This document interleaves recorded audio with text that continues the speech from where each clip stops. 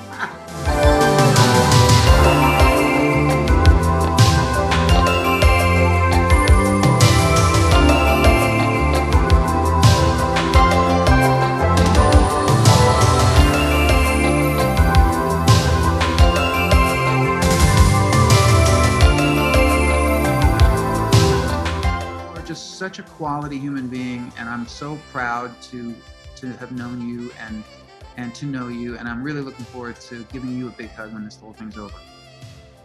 Thank you. And I'll give you a check for saying those nice things. So thank you, Richard. I think, thank you.